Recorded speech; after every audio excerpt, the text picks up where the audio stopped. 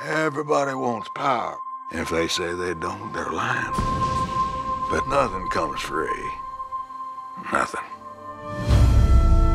I urge you to enact President Kennedy's Civil Rights Bill into law.